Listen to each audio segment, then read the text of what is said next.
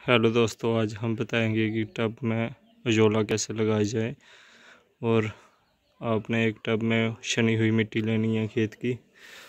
गाय या भैंस का ताज़ा गोबर लेना है और फ़िलहाल पानी तो डालेगा इसमें। तो मैं बता दूँ कि अजोला कहाँ से मंगवाया है मैंने।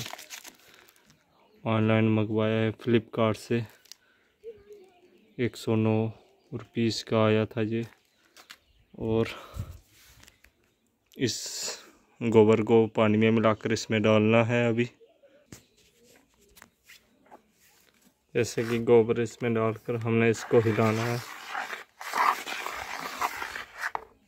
अभी इसमें पानी ऐड करना है।